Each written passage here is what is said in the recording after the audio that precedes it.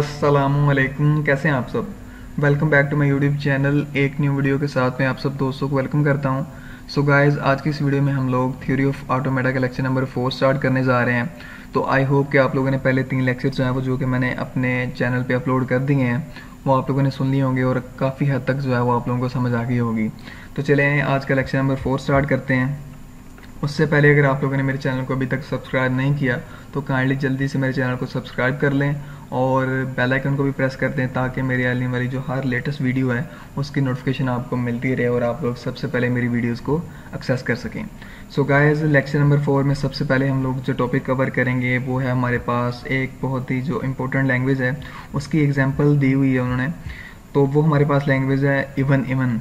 So guys even even language का मैंने पहले भी आप लोगों को बताया था, अगर आप लोगों ने लेक्चर नंबर थ्री सुना है उसमें मैंने बताया था कि number of a's and number of b's जो है वो इवन होने चाहिए। मतलब कि अगर हमारे पास नंबर ऑफ़ एज दो हैं तो नंबर ऑफ़ बी भी दो होने चाहिए। या फिर टोटल हमारी जितनी भी स्ट्रिंग है लाइक यहाँ पे हमारे पास ये स्ट्रिंग है, इसमें जो हमारे पास नंबर ऑफ़ एज हैं, वो दो हैं। ये इवन है, ये भी इवन है। अगर ये हमारे पास चार स्ट्रिंग है, चार ए की, ये भी इवन है। तो जितने भी हमारे पास नंबर ऑफ़ एज हैं या फिर नंबर ऑफ़ बीज हैं वो इवन होने चाहिए। तो बेसिकली इसी को हम लोग जो है वो कहते हैं even even language so guys इसमें ये चीज़ का आप लोगों ने ख्याल रखना है। अब यहाँ पे उन्होंने यही बेसिकली बताया कि having even number of a's यानी कि जो नंबर ऑफ़ एज हैं वो वो भी इवन है एंड इवन नंबर ऑफ़ बीज तो बी भी इवन है। इसके बाद हमारे पास इवन इवन एक लैंग्वेज है, उसमें हमारे पास जो स्ट्रिंग है, वो एक तो नल है, उसके बाद डबल ए है डबल बी वो फोर टाइम्स ए है डबल ए डबल बी और जितनी भी ये सो एंड सो फोर हमारे पास स्ट्रिंग है it's regular expression can be written as तो हमारे पास ये जो लैंग्वेज है इसकी अगर हम लोग अपनी रेगुलर uh, एक्सप्रेशन लिखना चाहें तो वो कुछ ऐसे है ये आप लोगों के सामने जो है वो शो हो रही है। इसको मैं हाईलाइट कर देता हूँ। आई होप कि आप लोगों को यहाँ पे सामने जो है वो इजीली शो हो रही होगी। सो गाइज़ यहाँ पे अगर हम लोग देखें तो हमारे पास सबसे पहले जो हमारे पास स्ट्रिंग है वो है नल तो नल का मैंने रेगुलर एक्सप्रेशन इसका कैसे लिखा है कि हमारे पास ये जो टोटल क्या कहते हैं इसे मैं रिमूव कर देता हूँ। हमारे पास यहाँ पे जो टोटल हमारी रेगुलर एक्सप्रेशन जिसे हम लोग आर ही बोलते हैं लिखी हुई है, इस टोटल का जो है वो स्टैरिक लिया हुआ है। तो स्टैरिक का बेसिकली मकसद यही है कि ये नल हो सकती है। इसलिए हमारे पास ये जो लैंग्वेज है, इसमें हमारी पहली स्ट्रिंग नल है। वो हम लोगों ने इसलिए ऐड किया क्योंकि इस सारी हमारे पास जो आ रही है रेगुलर एक्सप्रेशन इसका हम लोगों ने होल का स्टारिक लिया हुआ है क्योंकि ये नल भी हो सकती है। तो इसलिए सबसे पहले हम लोगों ने अपनी सेटिंग में नल ऐड किया। उसके बाद डबल ए डबल ए कहाँ से जनरेट कर रहा है? अगर आप लोग यहाँ से देखें तो यहाँ से ये जो डबल ए है वो जनरेट हो रहा है। इसके बाद डबल बी है। डबल बी हमारे पास यहाँ से जो है वो हो रहा है। इसके बाद फोर टाइम्स ए है। सो गाइज़ यहाँ पे हमारे पास डबल ए है। यहाँ पे भी हमारे पास डबल ए है प्लस डबल बी है। इसके ऊपर भी स्टैरिक है। इस होल के ऊपर भी स्टैरिक है अगर हम लोग इसकी वैल्यू टू कर दें तो यहाँ पे हमारे पास जो है वो इजीली ये फोर टाइम्स जो है वो जनरेट हो जाएगा।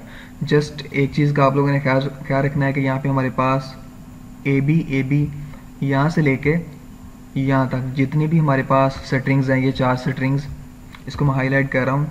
ये हमारी जो है वो इस सेटिंग से लेके इस रेगुलर एक्सप्रेशन से लेके यहाँ तक जो है वो इससे जनरेट होंगी। कोई भी हमारी जो स्ट्रिंग है ए बी से स्टार्ट हो रही है या बी ए से स्टार्ट हो रही है तो एंडिंग उसकी ए बी या बी ए से हो रही है। वो इनसे जनरेट होगी, बाकी सब जो है वो हमारे पास यहाँ पे, हमारे पास जो डबल ए डबल बी है, उससे जनरेट होगी, भले वो डबल ए हो डबल बी हो या फिर फोर टाइम्स बी हो। तो इसका रेगुलर एक्सप्रेशन जो है, वो मैंने इसके ऊपर एक नोट भी लिखा हुआ है कि सबसे पहले जो कि मैंने ऑलरेडी बता चुका हूँ कि null string will be generated by whole star क्योंकि हमारे पास यहाँ पे मैंने जो है वो पहले भी बता दिया है कि इसके ऊपर स्टैरिक था। इस वजह से जो है वो हम लोगों ने नल सेटरिंग इसमें ऐड की है। तो आई होप कि आप लोगों को यहाँ पे जो इवन इवन की लैंग्वेज है, उसकी एग्ज़ाम्पल थी जो कि काफ़ी इंपॉर्टेंट थी, वो मैंने आप लोगों को क्लियर करवा दी है। तो आई होप कि आप लोगों को इसकी समझ आ गई होगी। इसके बाद यहाँ पे नोट है।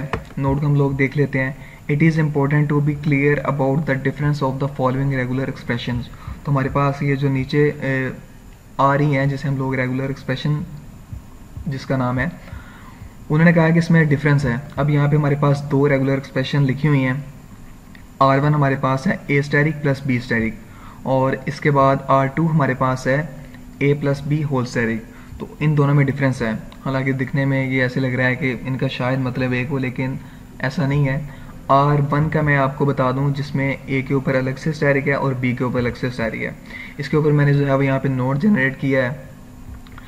इससे जो स्टरिंग जनरेट होंगी, वो कौन सी होंगी कि हमारे पास सबसे पहले ए स्टैरिक है और बी स्टैरिक है। स्टैरिक का मतलब मैं पहले तीन लेक्चर में भी आपको बता चुका हूँ कि जिसके ऊपर स्टैरिक है, वो नल हो सकती है।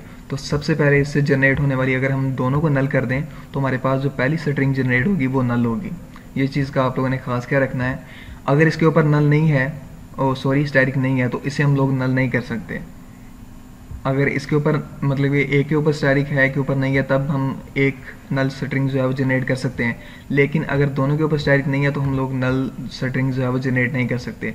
लिहाजा यहाँ पे दोनों के ऊपर स्टैरिक है, हम लोग फ़र्स्ट स्ट्रिंग जो हमारी जनरेट होगी, वो नल होगी। उसके बाद बिल फ़र्ज़ करें कि मैंने इसको स्टैरिक ले लिया। इसकी मैंने जो है वो पावर वन कर दी और इसे नल कर दिया। इसकी पावर वन की है ए जनरेट हो गया, इसको नल किया था, ये वैसे आ गया। अब मैं क्या कर रहा हूँ कि ए स्टैरिक को नल कर रहा हूँ और इसकी पावर वन कर रहा हूँ तो हमारे पास बी आ गया। बी को मैंने नल कर दिया, इसकी पावर टू कर दी टू टाइम्स जनरेट हो गया है। ऐसे ही मैंने ए को नल किया तो बी की पावर टू कर दी तो हमारे पास टू टाइम्स जो है वो ये स्ट्रिंग जनरेट होगी।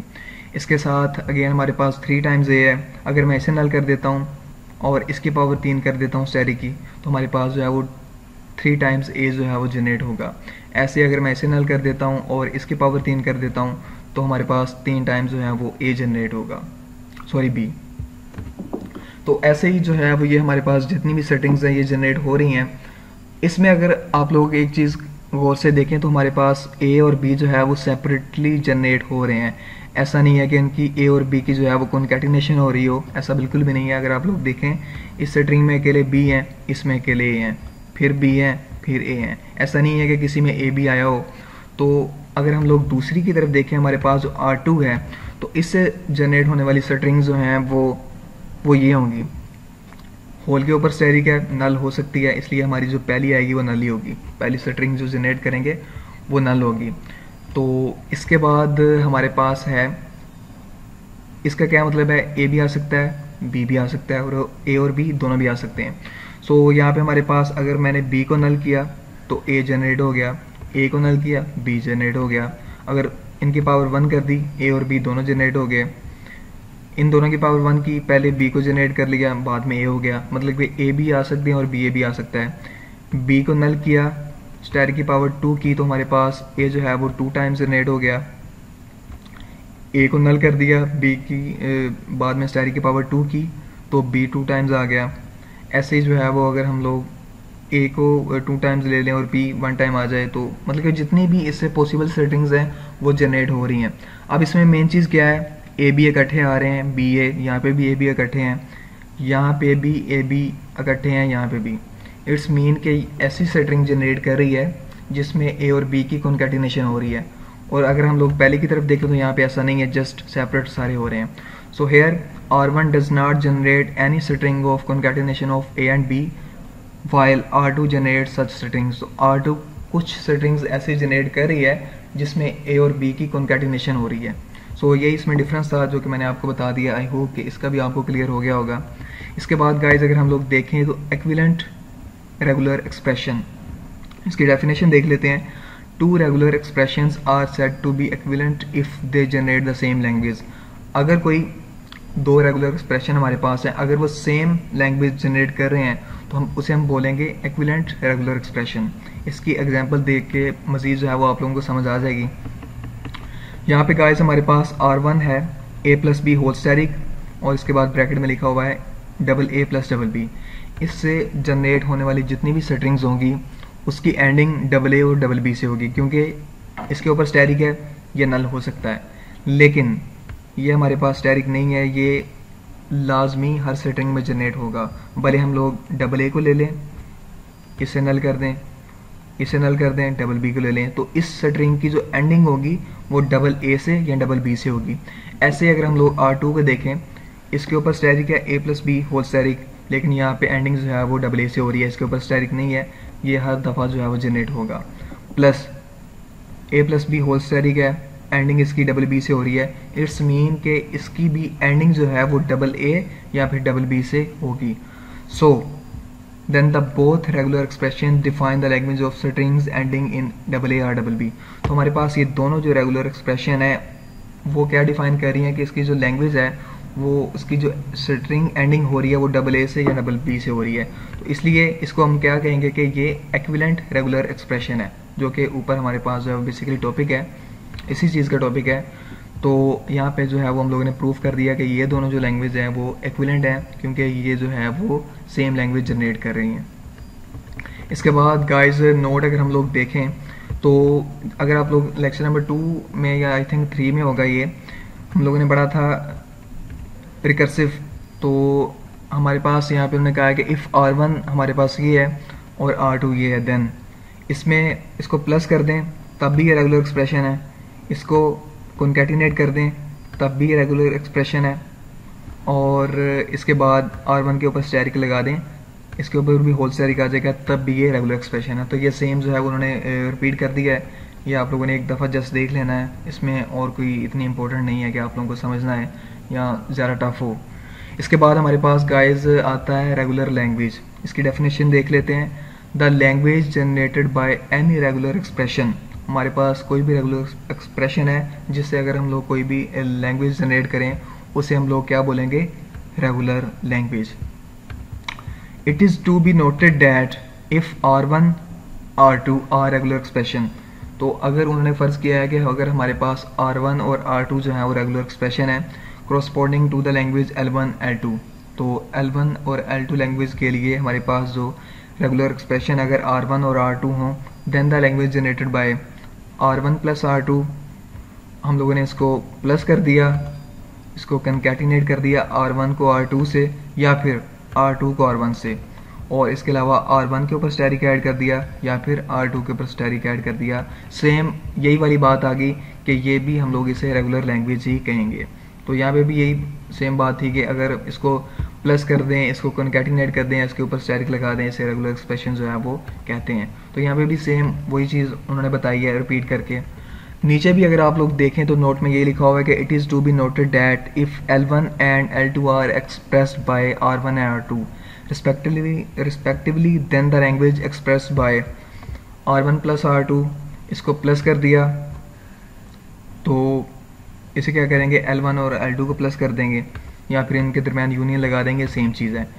प्लस कर दें कॉन्कैटिनेट कर दें और वन के ऊपर स्टेरिक लगा दें। सेम होगा कि इसे अगर हम लोगों ने कॉन्कैटिनेट किया है एल वन और एल टू को कॉन्कैटिनेट कर देंगे। अगर हम लोगों ने आर वन के ऊपर स्टेरिक लगाया है एल वन के ऊपर स्टेरिक लगा देंगे आर टू के ऊपर लगाया है तो एल टू के ऊपर हम लोग जो है वो स्टैरिक लगा देंगे। सेम चीज़ जो है वो बार बार ये वही बता रहे हैं। इसके बाद गाइज़ अगर हम लोग एग्ज़ाम्पल देखें सेम एग्ज़ाम्पल में वही चीज़ रिपीट की है इफ़ आर वन हमारे पास ये है और आर टू ये है then the language of setting generated by R one plus R two R is also regular language वही चीज़ है कि अगर हम लोग इसे प्लस कर दें, या फिर इसके अलावा उन्होंने क्या कहा है कि इसको कनकैटिनेट कर दें, या फिर इसके ऊपर स्टैरिक लगा दें सेम वही चीज़ है, इसमें कोई जो है वो, हमारे पास अगर आर ये है, इसको स्टैरिक कैसे लगाना है? आर के ऊपर स्टैरिक लगा दिया, इसके ऊपर इस होल के ऊपर स्टैरिक लगा दिया तो ये हमारी एग्ज़ाम्पल जो है कंप्लीट हो जाएगी। तो इसको जस्ट आप लोगों ने एक दफ़ा पढ़ लेना है, ये बार बार सेम वही चीज़ रिपीट हो रही है। यहाँ से जो है वो हम लोग एक न्यू चीज़ स्टार्ट करने जा रहे हैं। All finite language are regular तो ये चीज़ आप लोगों ने जो है वो इसको हाईलाइट कर लें या आप लोगों ने माइंड में रखना है कि जितनी भी फाइनाइट लैंग्वेज हैं, वो रेगुलर हैं। फाइनाइट का मतलब क्या है कि हमारे पास जो भी अगर कोई हमारे पास क्या कहते हैं, कोई लैंग्वेज है या फिर कोई अल्फ़ाबेट है लाइक ये हमारे पास अल्फ़ाबेट है, जिसमें दो लेटर्स हैं हमारे पास, इसकी जो लेंथ ऑफ़ स्ट्रिंग है, इसे हम, उसकी जो एग्जैक्ट क्वांटिटी है, वो हमें पता होनी चाहिए कि इसमें कितनी है, उसे हम बोलते हैं फाइनाइट अगर हमें एग्जैक्ट का नहीं पता लास्ट में डोटेड है कि वो कंटिन्यू है, उसे हम बोलते हैं इनफाइनाइट तो ऑल इनफाइनाइट लैंग्वेज जिसकी हमें एग्जैक्ट क्वांटिटी पता हो, वो रेगुलर है. इसके अलावा उन्होंने यहाँ पे क्या कहा है कि consider the language defined over alphabet हमारे पास है, जिसे हम लोगों ने सिग्मा के साथ जो है वो डिनोट किया है. ए और बी दो लेटर्स हैं हमारे पास. जो स्ट्रिंग्स लेंथ है इसकी, वो हमारे पास दो है ए और बी स्टार्टिंग विद ए तो उन्होंने क्या कहा है कि उसकी जो लेंथ स्ट्रिंग जितनी भी इससे जनरेट होंगी, उसकी लेंथ दो होनी चाहिए और ए से स्टार्ट होनी चाहिए. तो हमारे पास लैंग्वेज आ गई डबल ए एक ये स्ट्रिंग जनरेट होगी और एक होगी ए बी अगर हम लोग देखें तो यहाँ से हम लोग कौन कौन सी स्ट्रिंग जनरेट कर सकते हैं? डबल ए भी हो सकती है ए बी भी हो सकती है। इसके बाद डबल बी भी हो सकती है। डबल बी हम लोगों ने क्यों नहीं ऐड की? क्योंकि डबल बी जो है वो बी से स्टार्ट हो रही है। लेकिन यहाँ पे शर्त यह है कि हम लोगों ने वो स्ट्रिंग जनरेट करनी है जो ए से स्टार्ट हो रही है। इसके अलावा बी ए भी हो सकती है, वो भी हम लोग नहीं लिखेंगे क्योंकि वो भी बी से स्टार्ट हो रही है। जस्ट दो स्ट्रिंग यहाँ पे हमारे पास आएँगी। एक तो डबल ए और एक हमारे पास आएगी ए और बी इनको कॉन्केटिनेट किया। सो गाइज़ यहाँ पे जो है वो hence L by definition is a regular language तो इसे हम लोग जो है वो रेगुलर लैंग्वेज बोलेंगे। क्यों बोलेंगे? क्योंकि हमारे पास जो इसकी जो लेंथ है वो टू है वो स्टार्ट ए से हो रही है। इसके बाद गाइज़ हमारे पास नोट है। It may be noted that if a language contains even thousand words its R E may be expressed placing plus between all the words तो उन्होंने कहा कि अगर हमारे पास एक ऐसी लैंग्वेज है जिसमें भले थाउज़ेंड वर्ड्स हों, उसको हम लोगों ने अगर एक्सप्रेस करना है रेगुलर एक्सप्रेशन को लिखना है तो हम लोगों ने जस्ट क्या करना है कि उनके दरमियान हम लोगों ने प्लस लगा देना है। इसके लिए जो है वो हम लोग एक एग्ज़ाम्पल देख लेते हैं। हमारे पास ये लैंग्वेज है, ये हमारे पास लैंग्वेज है, इसमें triple a double a b a b a जितने भी हमारे पास स्ट्रिंग्स इसमें हैं that may be express by R E. तो इसकी जो रेगुलर एक्सप्रेशन हम लोग लिखेंगे, हम लोगों ने सब फ़र्स्ट ऑफ़ ऑल क्या करना है कि इन सब के दरमियान हम लोगों ने प्लस ऐड कर दिया तो ये हमारे पास जो है वो इसकी रेगुलर एक्सप्रेशन बन गई। Which is equivalent to a plus b a plus b into a plus b तो ये हमारे पास जो है वो, ये जो रेगुलर एक्सप्रेशन है, ये इसको जो है वो क्या कहते हैं डिनोट कर रही है। मतलब इससे बनने वाली, इससे बनने वाली जितनी भी सेटिंग्स हैं, वो यहाँ पे हमारे पास इस लैंग्वेज में है। तो बेसिकली जो है यहाँ पे ये हमारा जो नोट है वो भी कंप्लीट हो जाता है। इसके बाद गाइस हमारा जो है वो फाइनाइट ऑटोमेटन जिसे हम लोग ड्यूरिंग द हमारा जो भी पैंतालीस लेक्चर होंगे हमारे, उसमें हम लोग इसे जो है वो एफ़ बोलेंगे। तो हम लोग बेसिकली जो है वो अब एक न्यू टॉपिक स्टार्ट करने जा रहे हैं जिसे हम लोग फाइनाइट ऑटोमेटन यानी कि एफ़ कहते हैं। उसकी यहाँ पे इन्होंने एक एग्जांपल दी है जो कि काफ़ी बोरिंग सी है मे बी आप लोगों को समझ ना आए, लेकिन इसके आप लोगों ने टेंशन नहीं लेनी है, इसका मजीद जो है वो आप लोगों का नीचे जाके कॉन्सेप्ट क्लियर हो जाएगा। जस्ट यहाँ पे उन्होंने क्या कहा है कि एक एग्ज़ाम्पल दी है फाइनाइट ऑटोमेटन की। सो फाइनाइट ऑटोमेटन किसे कहते हैं? यहाँ पे इसका जो है वो मैंने लिख दिया है method to represent language using diagram एक ऐसा मेथड है जिससे हम लोग जो है वो डायग्राम के ज़रिए लैंग्वेज को रिप्रेजेंट करते हैं। पहले हम लोग जो है वो ये रेगुलर एक्सप्रेशन यूज़ करते थे किसी लैंग्वेज को डिफाइन करने के लिए एक्सप्रेस करने के लिए हम लोगों ने इस लैंग्वेज को एक्सप्रेस करने के लिए हम लोगों ने क्या यूज़ किया? ये वाली रेगुलर एक्सप्रेशन ऐसे गाइज़ अगर हम लोग देखें तो फाइनाइट ऑटोमेटन उसे कहते हैं कि किसी भी लैंग्वेज को जो है वो एक्सप्रेस करने के लिए हम लोग डायग्राम का यूज़ करें. तो इसका नोट भी मैंने ये लिखा हुआ है कि डायग्राम के थ्रू जो है हम लोगों ने लैंग्वेज को रिप्रेजेंट करना है. सो so, यहाँ पे एक एग्जांपल है। एग्जांपल में क्या है, हमारे पास 64 बॉक्सेस हैं तो ये हमारे पास जो है एक गेम बोर्ड है। इसमें टोटल चौंसठ बॉक्सेज हैं। अब इन्होंने क्या कहा है कि there are some pieces of paper इसमें जो है वो कुछ पेपर हैं पीसेज पीसेज ऑफ़ पेपर हैं, जिसमें कुछ pieces of paper white colour के हैं और कुछ ब्लैक कलर के हैं। जो पीसेज के पेपर हैं, उसकी जो तादाद है वो चौंसठ यहाँ पर इससे कम हो सकती है। इसकी जो अरेंजमेंट है कि हम लोगों ने यहाँ पे वाइट करने हैं या फिर यहाँ पे ब्लैक करेंगे या फिर ऐसे ब्लैक करेंगे या फिर ऐसे, जो भी इसकी अरेंजमेंट करनी है, वो under which these pieces of paper can be placed in the boxes are finite तो हमें इतना पता है कि इसकी जो है, वो जितने भी हम लोग इसकी अरेंजमेंट करेंगे, जैसे भी करेंगे, इसकी नंबर ऑफ़ पीसेज की, वो फाइनाइट होगी। इसके बाद उन्होंने कहा कि to start the game one of the arrangement is suppose to be initial arrangement तो उन्होंने कहा है कि हम लोग गेम को स्टार्ट करने से पहले जो हमारी फ़र्स्ट अरेंजमेंट होगी, वो ये होगी कि हम लोग किसी भी एक को जो है वो इनिशियल स्टेज जो है वो सपोज़ कर लेंगे। इनिशियल अरेंजमेंट आप लोग इसे कह सकते हैं। There is a pair of dice हमारे पास डाइस होगी, जिसमें डाइस मैंने यहाँ पे नोट ऐड किया है, जिसमें हमारे पास जो हम लोग लूडो खेलते हुए यूज़ करते हैं, उसमें हमारे पास एक से लेकर छः नंबर तक होते हैं। तो हमारे पास पेयर है, यानी कि दो डाइस हमारे पास होगी। That can generate the number two to twelve यहाँ दो से बारह क्यों लिखा हुआ है? क्योंकि हमारे पास अगर दो डाइस हैं तो अगर हम लोग इसे दोनों डाइस को फेंके तो अगर एक दफ़ा भी एक एक आए तो वो दो से स्टार्ट होगा। तो दो से बारह तक जाएगा। एक में छः होते हैं और दो में बारह होंगे। For each number generated a unique arrangement is associated among the possible arrangements तो जितने भी नंबर जो है वो जनरेट होंगे, वो एक यूनिक अरेंजमेंट जो है वो एसोसिएट करेगी।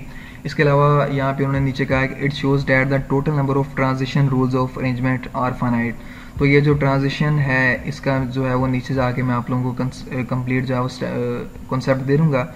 इसमें just this structure of game can be consider to be a finite automaton तो ये जितना भी उन्होंने बकवास एग्जांपल दी हुई है वो ये कह रहे हैं कि इसको हम लोग जो है वो फाइनाइट ऑटोमेटन जो है वो कंसिडर कर सकते हैं। तो एक दफ़ा आप लोगों ने रीड आउट कर लेना है। अगर नहीं समझ लगी तो इस चीज़ की आप लोगों ने टेंशन नहीं लेनी, क्योंकि हम फाइनाइट ऑटोमेटन जिसे हम लोग एफ़ बोलते हैं, ये बहुत ही जो है वो बेसिक वो क्या कहते हैं, उसे डिटेल में जाके पढ़ने वाले हैं। तो इस चीज़ का आप लोगों ने जो है वो परेशान नहीं होना। जस्ट आप लोगों ने एक चीज़ ख्याल रखनी है फाइनाइट ऑटोमेटन उसे कहते हैं कि हम लोग किसी भी लैंग्वेज को एक्सप्रेस करना हो, उसके लिए हम लोग जो है वो डायग्राम यूज़ करें। जस्ट इस चीज़ का आप लोगों ने जो है वो याद रखना है इसमें। इसके बाद गाइज़ हमारे पास जो है वो मेथड फोर है। फाइनाइट ऑटोमेटन का। इसमें हमारे पास जो है वो कुछ उन्होंने यहाँ पे हमारे पास तकरीबन तीन लाइन जो है लिखी हैं। इसको हम लोगों जो है वो देख लेते हैं। फाइनाइट नंबर ऑफ़ स्टेट्स तो हमारे पास जो नंबर ऑफ़ स्टेट्स होंगी एफ़ में, वो फाइनाइट होंगी कि हमें एग्जैक्टली exactly हमारे पास अगर ये एग्ज़ाम्पल दी हुई है, इसमें हमारे पास दो लेटर्स हैं। तो हमारे पास जो नंबर ऑफ़ स्टेट्स होंगी, वो भी फाइनाइट बल्कि दो होंगी। अगर हमारे पास एग्ज़ाम्पल में दो हैं तो हमारे पास जो इसकी स्टेट्स बनेगी, वो भी दो होंगी। Finite set of input letters हमारे पास जो लेटर्स होंगे, वो भी फाइनाइट होंगे। इसके बाद ट्रांजिशन होंगी, वो भी फाइनाइट होंगी।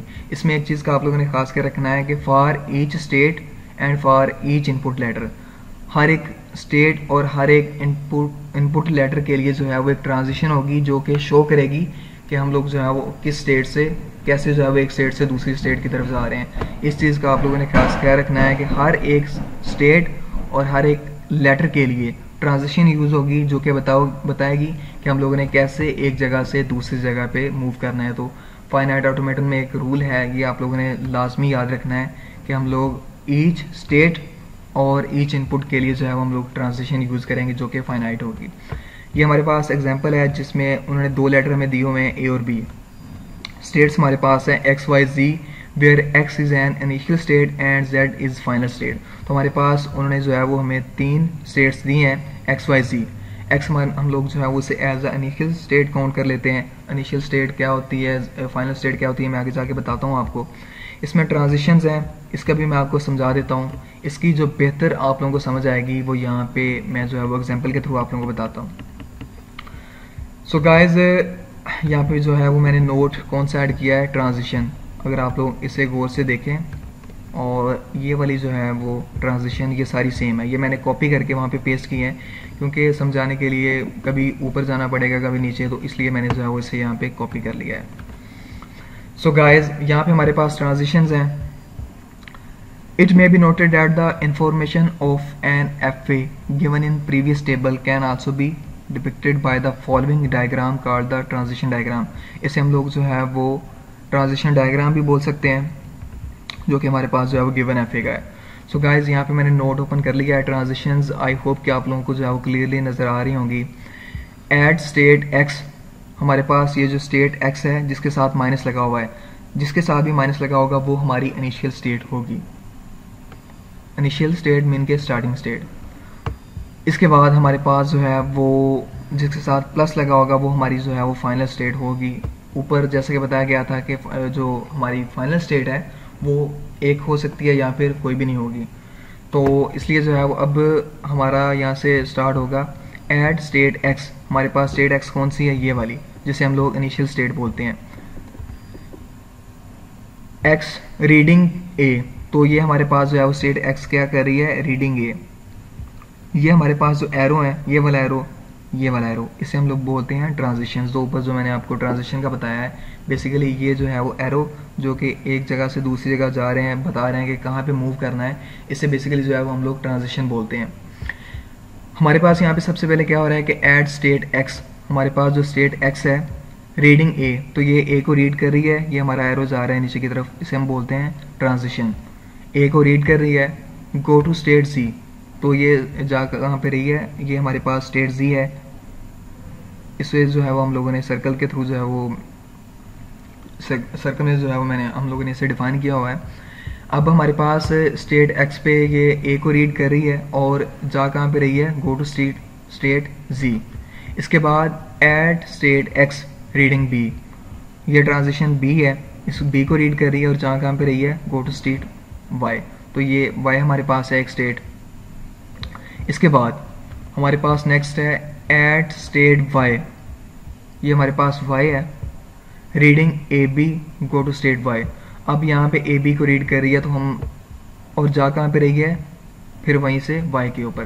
तो हम लोग क्या करेंगे कि इसके ऊपर हम लोगों ने एक लूप लगाया है, इसे भी हम लोग ट्रांजिशन ही बोलते हैं।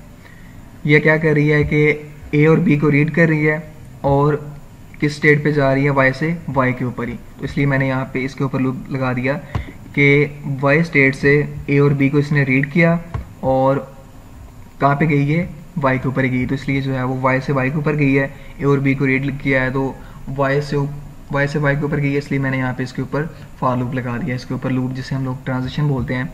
इसके बाद हमारे पास आ गई एट स्टेट जी तो यहाँ से हमारे पास जी स्टेट है। रीडिंग ए बी तो ये भी ए बी को रीड कर रही है। And go to state G तो ये भी जी के ऊपर जा रही है। तो उसके ऊपर मैंने लूप लगा दिया। ए और बी को रीड कर रही है। आई होप कि यहाँ पे जो हमारे पास जो ट्रांजिशन थी, इसकी समझ आ गई होगी।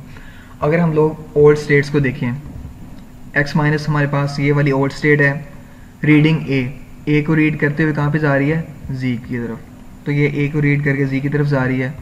रीडिंग बी बी को रीड करके एक्स माइनस कहाँ से जा रही है? वाई के ऊपर। तो ये वाई के ऊपर जा रही है। अगर हम लोग वाई को लें, इस वाई को लिया हम लोगों ने स्टेट को। रीडिंग ए कहाँ पे जा रही है? वाई के ऊपर। वाई के ऊपर चली गई। रीडिंग बी कहाँ पे जा रही है? वाई तो बी भी वाई के ऊपर ही है। अगर हम लोग जी जो कि हमारे फाइनल स्टेट है, इसको अगर हम लोग लें तो ए को रीड करते हुए कहाँ पे जा रही है? ए को रीड करते हुए ये फार लूप लगा हुआ है। ट्रांजिशन जो है वो हमारी जी के ऊपर ही आ रही है। बी को रीड करते हुए जी जी के ऊपर आ रही है तो ये जो हमारा जो ऊपर एफ़ ए था, हमारे पास ये जो टेबल है, इससे भी साबित हो गया कि हमारी जो ट्रांजिशन डायग्राम है, ये सेम चीज़ बता रही है। इसके बाद सबसे लास्ट में रिमार्क हैं।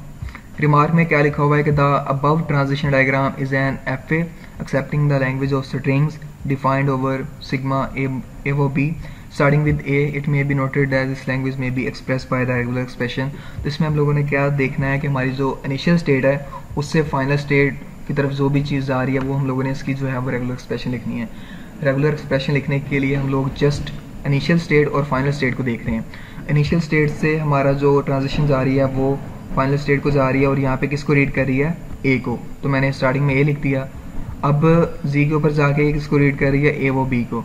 तो ए भी आ सकता है बी भी आ सकता है। इसलिए मैंने ए प्लस बी इसके ऊपर जो है वो स्टैरिक लगा दिया कि ए अकेला भी आ सकता है बी भी आ सकता है अलग से। ए और बी दोनों इकट्ठे भी आ सकते हैं, इसलिए जो है वो मैंने a plus b whole asterisk लिख दिया है। ये इसकी जो है वो बेसिकली रेगुलर एक्सप्रेशन बनती है। आई होप गाइज़ कि आप लोगों को लेक्चर नंबर फोर की भी समझ आ गई होगी। अगर किसी चीज़ की समझ नहीं आई, ज़रूर पूछे कमेंट सेक्शन में जाके वीडियो कैसे लगी है, वो भी बताइएगा। प्लीज़ वीडियो को लाइक कर दें और अपने जितने भी जो आपके क्लास फेल हैं, उनके साथ शेयर करना मत भूलिएगा। आई होप कि आप लोग इसमें मेरी हेल्प करेंगे। सो अपना बहुत सारा ख्याल रखिएगा और दुआ में याद रखिएगा। अल्लाह हाफिज़।